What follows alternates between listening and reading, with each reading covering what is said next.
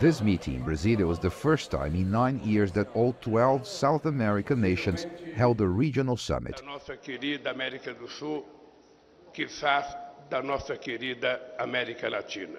In his opening speech, Brazilian President Luiz Inácio Lula da Silva pushed for a revival of the Union of South American Nations, or UNASUR, and for the creation of a regional currency to replace the US dollar.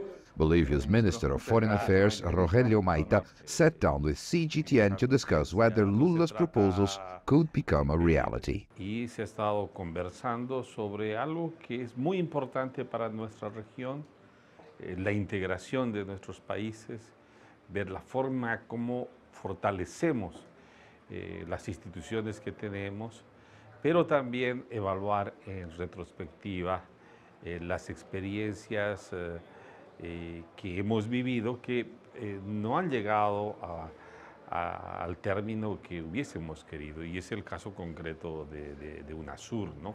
One of the discussions is about UNESUL. What's your opinion and Bolivia's opinion? Should UNESUL be uh, rebuilt and in what terms? Que una América del Sur unida como región articulada eh, puede resultar en un contrapeso regional.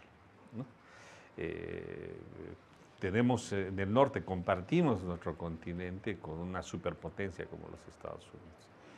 Y, y obviamente hay intereses en, en- en- en- ese contexto. ¿no? Eh, en el tema de UNASUR eh, se, se la cuestionó en algún momento, probablemente eh, porque se, se ha acusado de que tuviese un sesgo ideológico, ¿no? aunque se olvida que en determinado momento en la región pudiera- eh, los que impulsaron eh, UNASUR fueron eh, presidentes de diferente tendencia ideológica. Now, when the world looks towards South America, it always thinks about the environment and climate change, particularly for countries that are in the Amazon region. How can Bolivia participate in this global effort to uh, conserve the environment and to avoid climate change?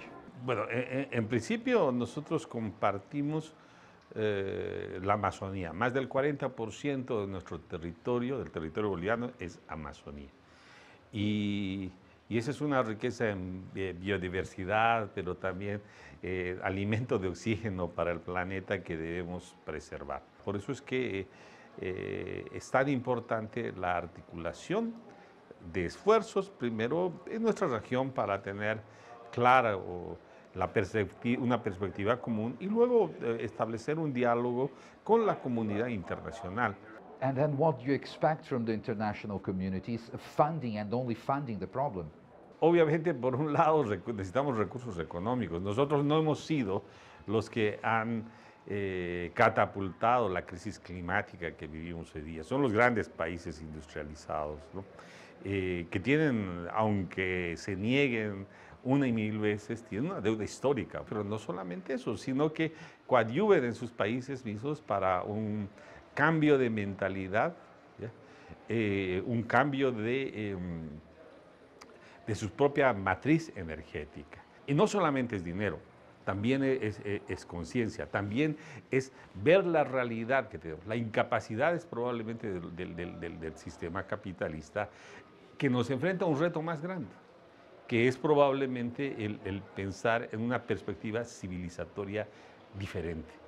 And what about the importance of China for South America, for Latin America, and specifically for Bolivia? How important is it to have relations with China, and in, in, in what terms do you want to have these relations? China tiene un peso económico muy importante. Ese es, eh, es, eh, probablemente el, el socio comercial más importante de, de- de la mayoría de nuestros países en la región. ¿no? Consideramos que podemos seguir por esa senda, aunque Latinoamérica se piensa un poco a sí misma, ya no tanto como simplemente eh, la reserva de materias primas, sino también de un productor de, en diferentes ámbitos y busca una relación eh, económica de complementariedad con el mundo.